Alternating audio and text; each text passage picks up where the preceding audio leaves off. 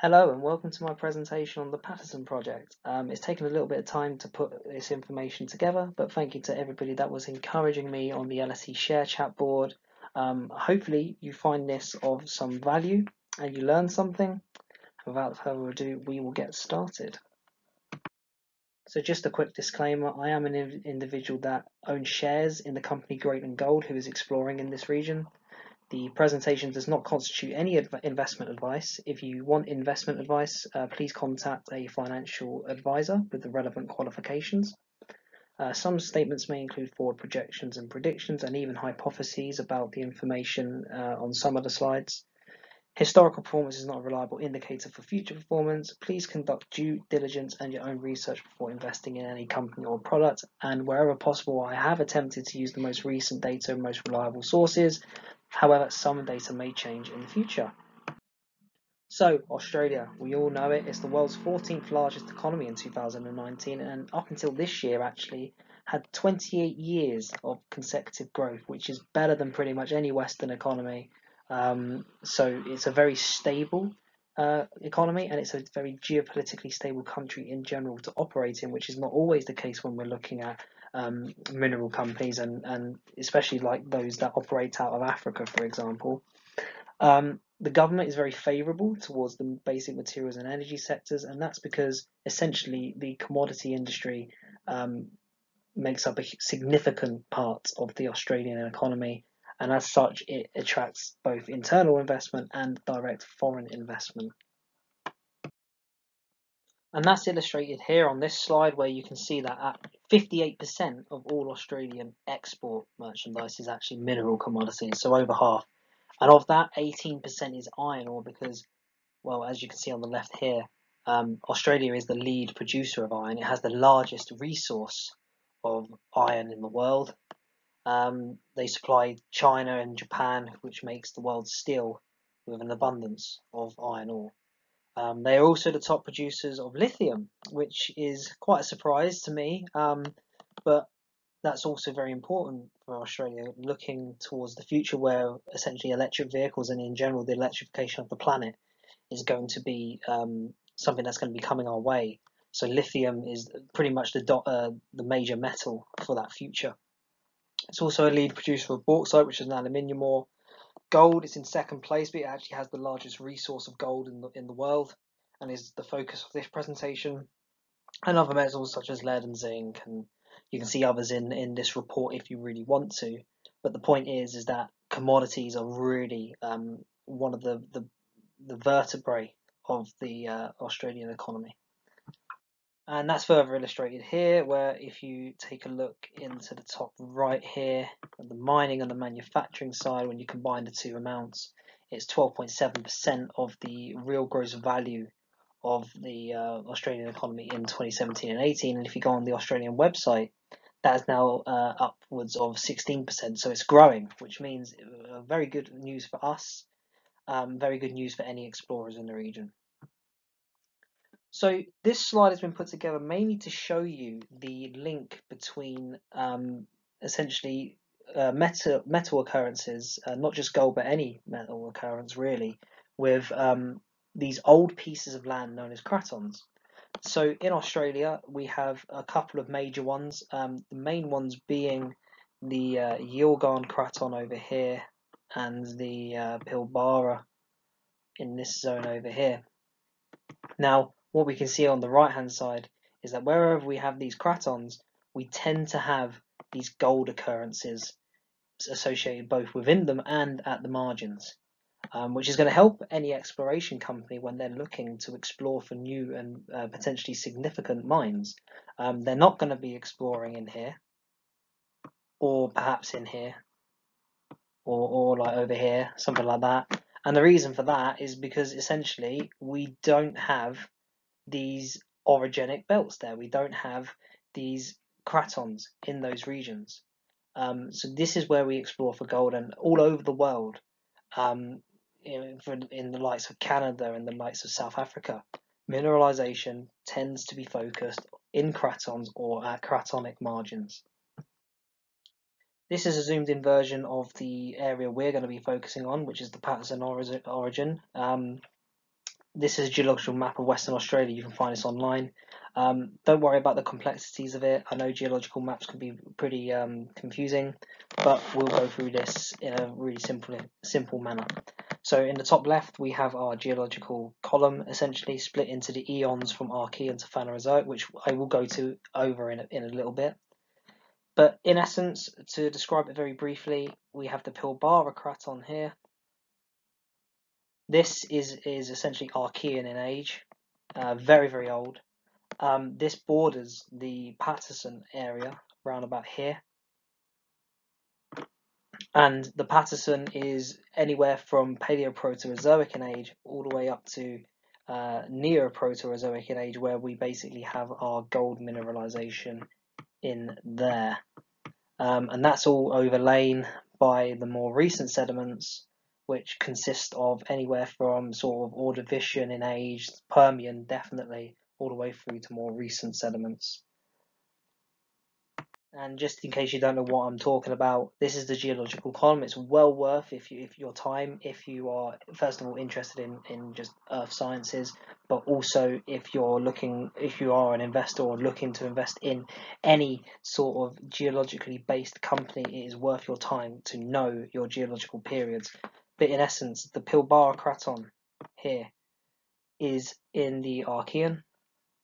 Uh, the basement rocks of the Paterson are hosted in the Paleoproterozoic, which is about 2 billion years old. The mineralization in the Paterson Orogen and the host rocks are in the Neoproterozoic, so anything younger than about a billion years old. And then all of the recent sediments are mainly Permian in age, which is, essentially 3, uh, 300 million years. So the geological history um, a little, in a little bit more depth, and this map here is quite a nice simplistic um, view of the Paterson specifically. So what we have is a set of sort of large faults here marked by the black lines on the map. We have the basement, which is here,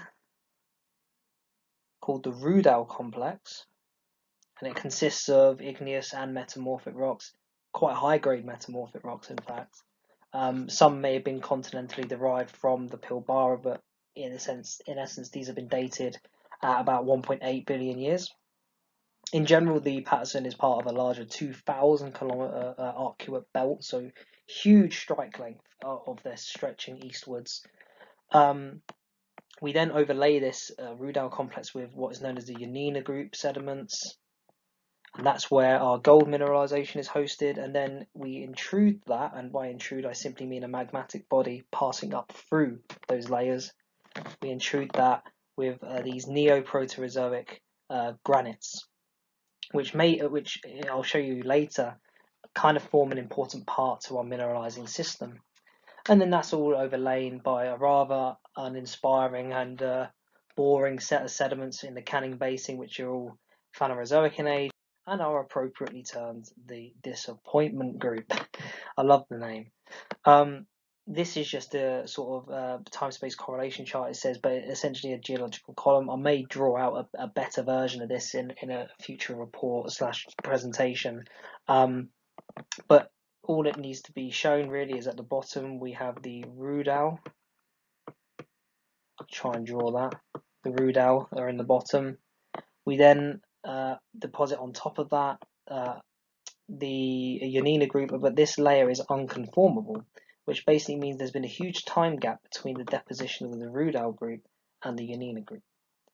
And the Yeneena group is split up into two main groups. The bottom half is known as the Throssell group, but the top half, which is what we're interested in, is known as the Lamil group okay and then this entire sequence has been intruded by these uh, granitic um, bodies which is known as the O'Callaghan supersuite and then that's all overlain by the Canning Basin sediments up the top here. So the Lamil group is a 4 to 5 kilometer thick sequence of sandstone shale and carbonates. It's what we term a regressive sequence because by regression we simply mean a drop in sea level. And when that happens, what we see is a coarsening upwards of the sediments and a cleaning upwards. And to define that, that simply means that we start with sort of finer grained sediments at the bottom of the sequence, moving upwards into our coarser grained sandstones and even potentially conglomeratic material um, at the top. and that reflects a retraction of the sea level where we're starting to get into more continental environments, possibly even desert. And the cleaning upwards is almost a, is essentially a reflection of that because if you're going from deeper marine type deposits, they are going to contain a lot of clay, a lot of clay, a lot of mud.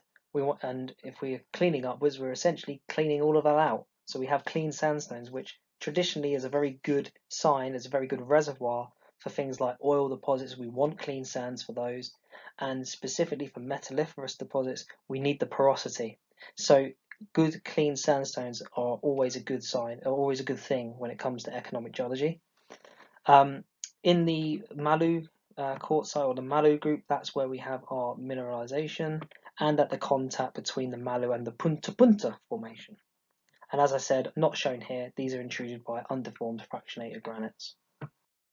So to go over the major tectonic events of just the uh, orogenic area we're in, the, the Paterson, way back in the uh, 1.8 billion years ago, we have this orogenic episode where we collide two continents, the Western Australian craton and the North Australian craton, and that thickens the crust at about 35 kilometers and actually kind of provides the route, if you like, for this um, this origin and it's kind of coeval with something called the Capricorn Orogen.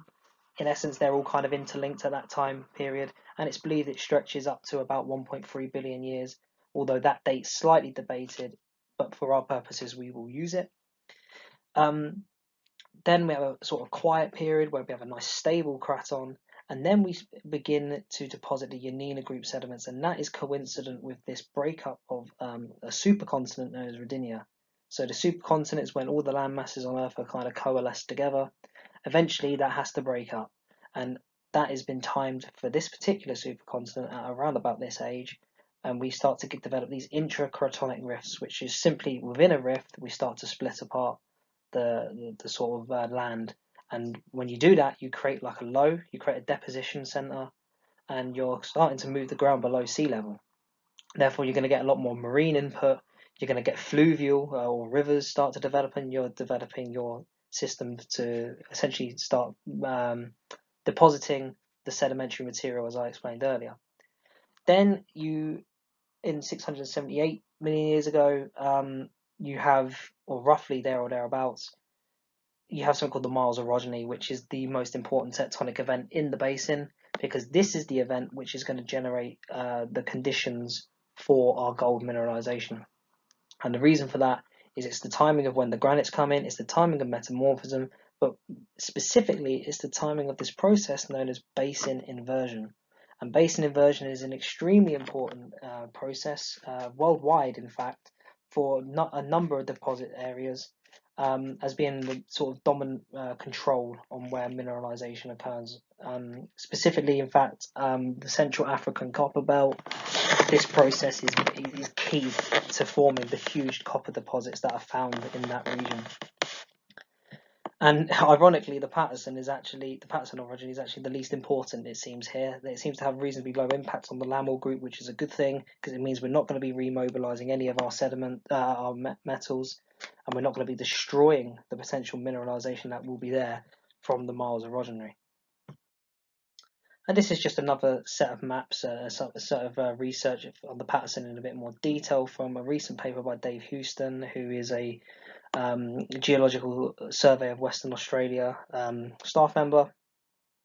Uh, here we can see in the Telfer region, um, the deposits are hosted in something called the Malu Formation.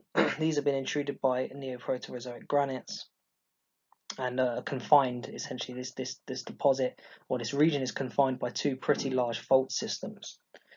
Um, this diagram on the right is essentially all of the geochronological information we have not only on the ore deposit but on a lot of the rock types around the area. So this is how we know the ages of the deposits, this is how we know the ages of the mineralization. In fact, geochronology in general is pretty much our best tool at dating any event in Earth history. And where I've put the green circle is essentially the date of the mineralization at Telfer. We can see that it's at a rough age of around about 650 million years, which is coincident with the uh, Miles orogeny and the emplacement of granites. Uh, a quick note, the host rocks, the Malu Formation, are within this period over here, which is over 800 million years. So there's a nice 200 million lag time between the deposition of the Malu and, and the Yeneena group and the actual timing of mineralization. Um, it's important that you define that. It's important when you're looking at ages of, of, of anything really that you know what it's relevant to. So to summarise, you have a continental collision between the North Australia craton and the West Australian craton between 1.8 and 1.3 billion years ago. This kind of creates the uh, sort of root of the origin itself.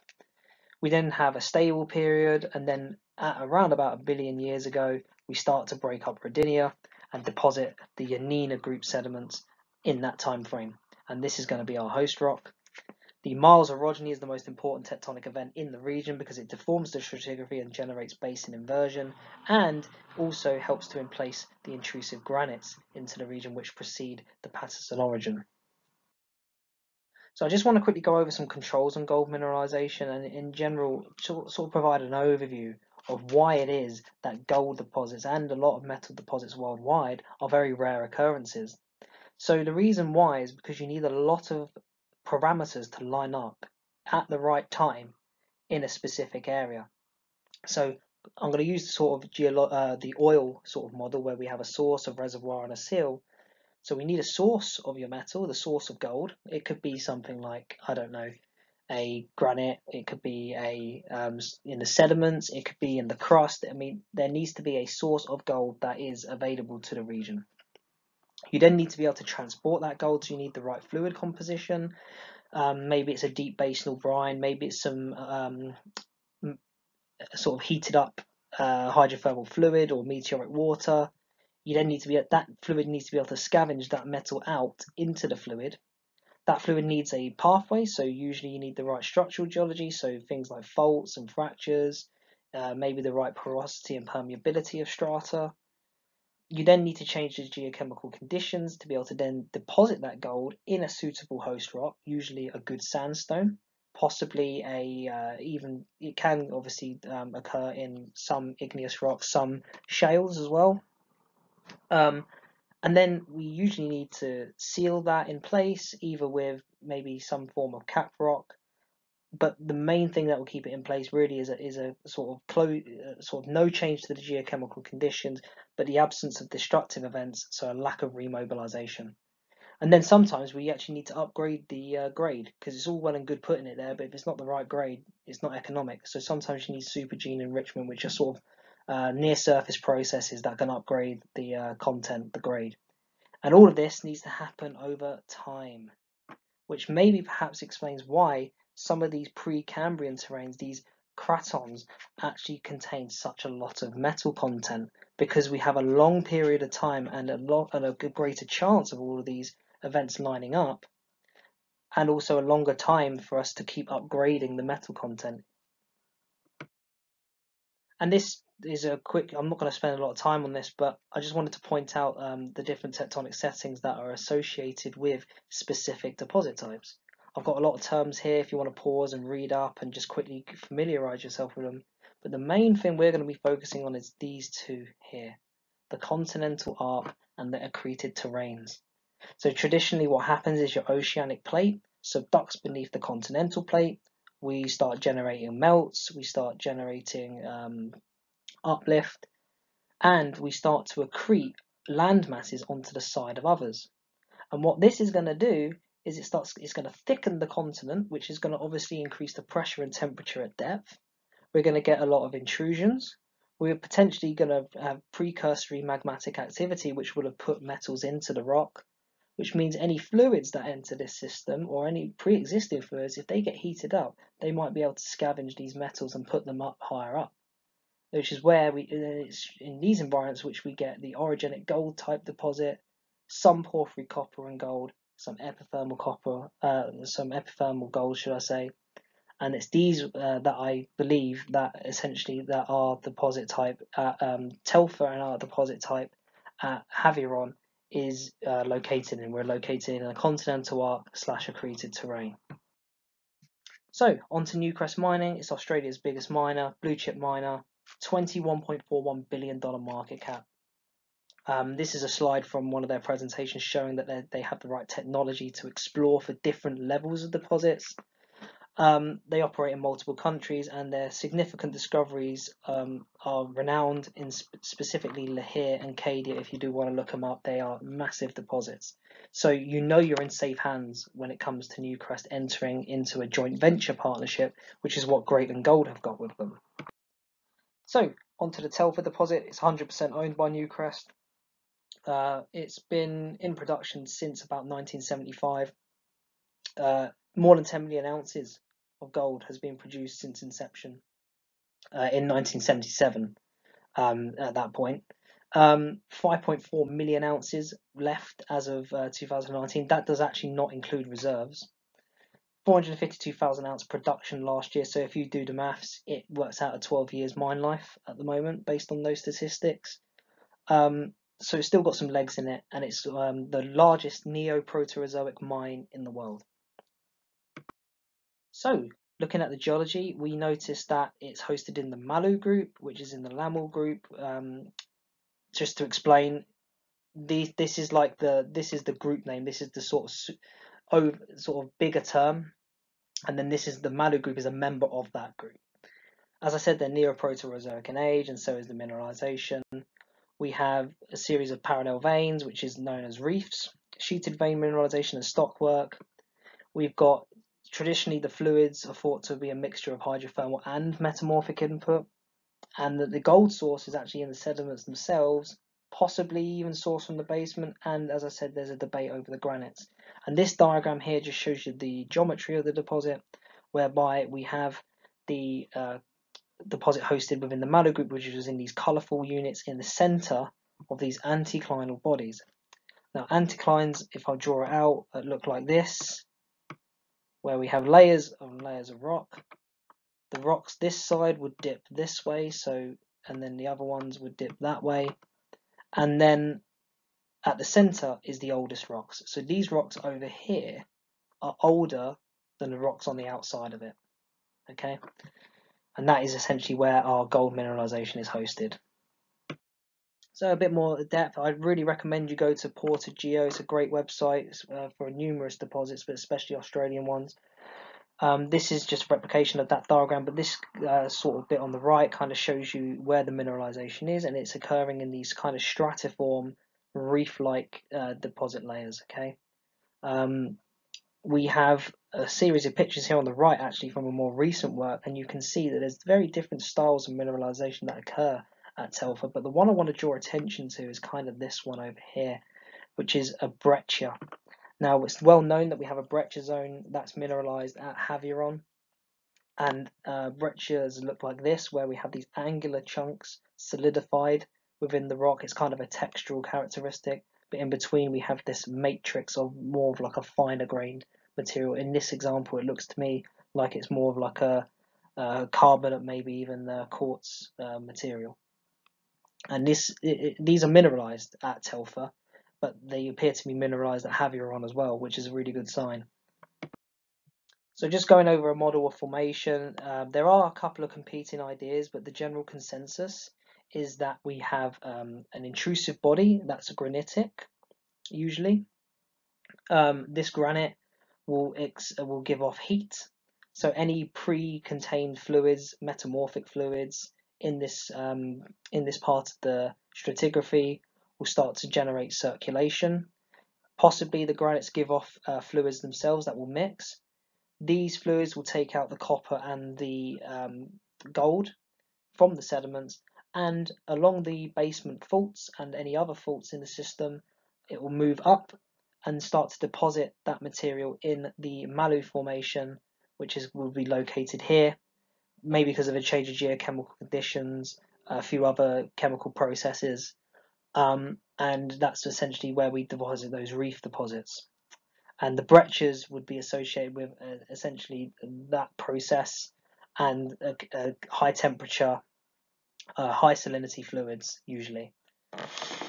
So the only debate is whether or not the granites are supplying metals or uh, and or the fluids. Um, that's a more of an academic debate. Um, I've kind of just supplied this model from Rowan's. It's kind of um, I guess, that I think is the easiest to understand.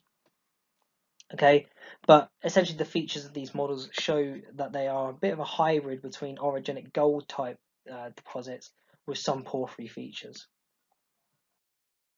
And this is just a summary of Telfer. As I said, it's the largest neoproterozoic mine in the world. It's interpreted actually as intrusion related gold. It's kind of its own deposit class. There's a few examples worldwide given in this table here. Um, the, the Telfer's at the top, so if you do want to read it, uh, go ahead. Um, but the main take home point is that the fluids, and in this piece of work by Schindler, they studied fluid inclusions and, and actually found that there's a lot of different fluid inclusion compositions within the Telfer that uh, are contributing to the uh, mineralizing system. Um, as I said, there's a debate over the role of granites, but in general, the Telfer shows characteristics of orogenic gold and, and a bit of porphyry systems too. Okay, moving on to Havieron. So Havieron is obviously Greatland Gold's sort of um, project that they've entered into a, a Newcrest joint venture um, um, partnership with. Uh, Newcrest have moved on to stage three of that farming agreement where they can earn more of a percent of this particular deposit um, if they deliver a pre-feasibility study. There's been exceptional drill results since 2018 and I'm going to show you some of the latest ones on the next slide.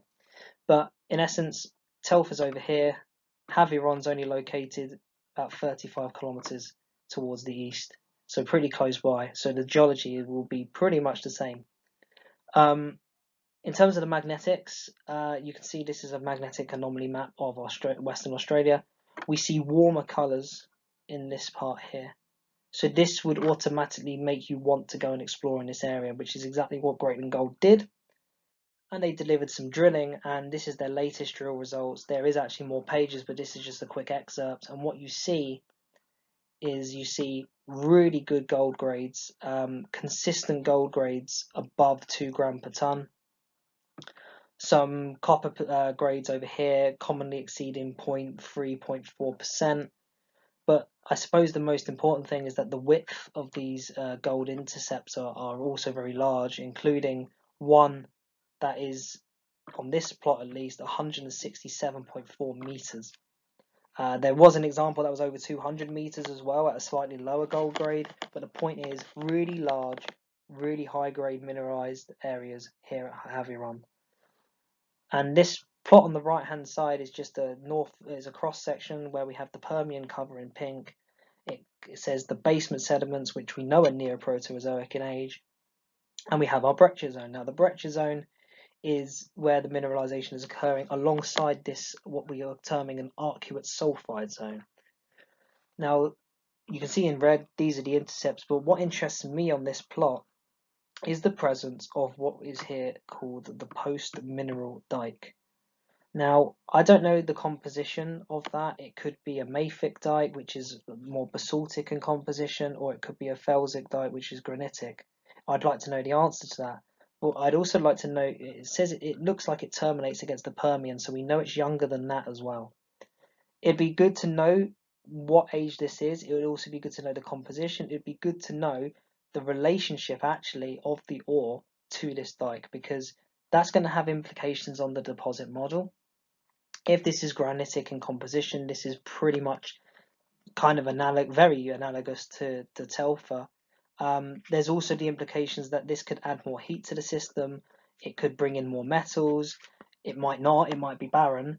But there's also the potential that this could be causing the actual brecciation zone, which um, a lot of people have been invoking breccia pipes as a, a model in the in the LSE share chat. Um, from my um, initial research, there's no evidence to suggest that. Um, there's no evidence of breccia pipes in this particular region.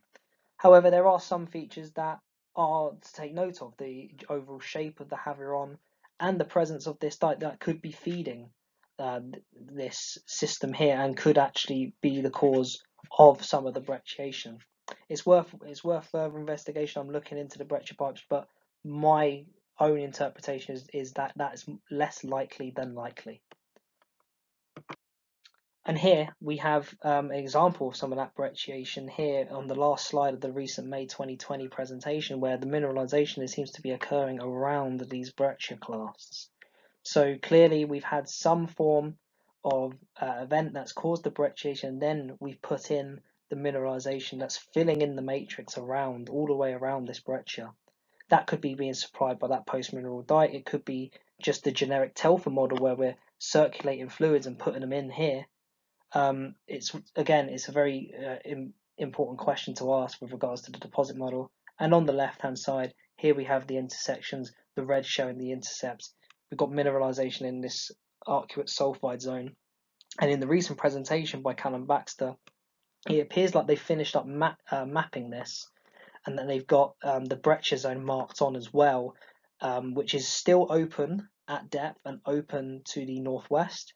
So when they do drilling in the northwest, they're hopefully going to constrain the deposit a little bit further and um, provide us a real estimate on what potentially they have here.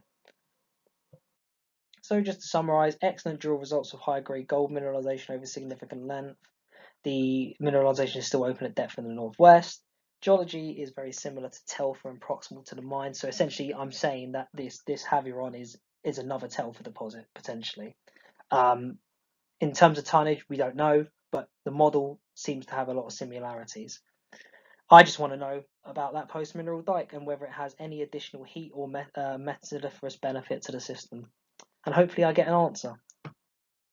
Uh, so Scallywag, um, this is just a, a, sort of diagram showing the geophysical responses. You can clearly see Havieron sticks out like a sore thumb. It's a bullseye magnetic anomaly over here, and we see a repetition of those features over here on the left, at, specifically at Blackbeard and at Kraken. Um, and also some work done prior to that or alongside that. Um, we also done some. They also done some uh, copper or some geophysical, not geophysical, geochemical uh, sampling, and um, uh, produced uh, over 300 and 350 um, part per billion results, which is very um, important in terms of signifying whether or not we have a mineralized system at depth. Um, geophysical response is, is good, um, and so is the soil sampling. What we need is drill results, and hopefully they're on the way soon. And just recently, there's been another discovery further north of us, actually, at the Winu discovery. It's called the Winu discovery. Um, this is the recent um, results. If we're going to get egotistical about it, our gold grades are better than theirs, um, but they do have very good lengths, say 155 and 104. And to be honest, the more discoveries there are in this region, it can only increase the excitement and the prospectivity of this region, which has been ranked number one. You saw in the recent May 2020 presentation that the Paterson is kind of the go-to destination for mining at the moment. And what we're seeing is an increase in discoveries. Even I think Antipa reported so, uh, uh some up an updated on results. I haven't read it yet, but I think it was positive in their exploration efforts. So it's just it could be that this region in general, the Paterson, has just been underexplored for whatever reason, maybe due to a lack of investment, a lack of interest because there's so many good districts worldwide, and if you find a good deposit in one of those regions, you're likely to focus on it. Um, and now, you know, companies are coming in and they're finding things here, and it could be the next, the new rave, if you like. And this is just the the, the drill holes of the Winu discovery. Again, Permian cover, basement sediments in the Neoproterozoic and some layers here in the middle, um, which looks very similar to what uh, we're getting at the other discoveries at Telfer and also at um, Havieron. Um, so it'll be interesting to see how this develops as well. So in conclusion, the Paterson region is a currently active and highly prospective metalliferous district. The Proterozoic orogenic episodes often are often sites of significant mineralization, not just in Australia but worldwide. Um, the Telfer deposit and Havieron prospect show strikingly similar characteristics. Uh, Scallywag has good geophysical responses that are very similar to Havieron as well, and that the Rio Tinto discovery further north further enhances Paterson potential. Um, so, overall, very good signs. I'm hoping that we get uh, new results coming out for Scallywag very soon. Um, and hopefully you found this presentation useful. Um, I've left a list of references at the end here I do plan on writing up a bit more of a detailed uh, report. This is kind of the first presentation I've done on this, and I'm a pretty new investor to, to this area, and so my research has obviously been restricted by time. But as time goes on, hopefully I'll be able to put more out there. Um, obviously I'm a PhD student, so I should really get on with that. But I guess this is a kind of side hobby, so you know. Um, I left my contact details at the start of the presentation, so if you want copies of the academic papers I've used, um, contact me and I'll send you a copy. Other than that, thank you for listening and see you guys later.